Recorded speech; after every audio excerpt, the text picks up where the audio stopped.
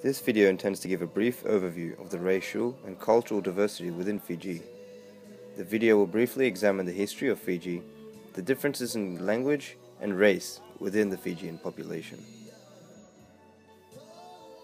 As a result of its complex history, Fiji is a diverse, multicultural nation. With a population of 800,000, roughly 55% of the population are native Fijians, predominantly Melanesian, and 38% are Indo-Fijian.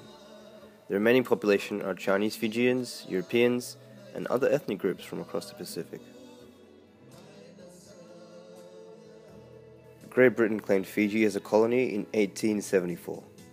From 1879 to 1916, over 60,000 Indians landed in Fiji to work as contract laborers on the sugar plantations. By 1942, over 93,000 Indians lived in Fiji. Since independence from Britain in 1970, Fiji has suffered many political struggles and coups that have created tension within racial groups in Fiji, in particular between native and Indo-Fijians. Under the current Bainimarama administration, the term Fijian now extends to Indo-Fijians and other non-native groups as well. Forming a uniform identity for all Fijians represents a significant step forward and looks to promote racial equality in Fiji.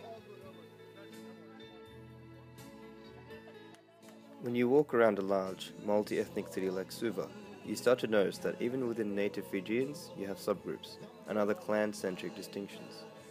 A person from, say for example, the Lau group will have a very different dialect, different culture, and different ancestral roots than, say, from a person from Kadavu. The Bauan dialect is the most commonly used dialect of the Fijian language. Fiji Hindi is common amongst Indo-Fijians, and it is a language that is predominantly Hindi but has very distinct Bauan mixtures. Fiji, as far as race and culture goes, is an extremely diverse country.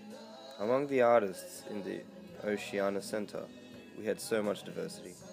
We had artists from across Fiji, from places like Lau, Kadavu, and Ba, as well as international artists from places like Tuvalu.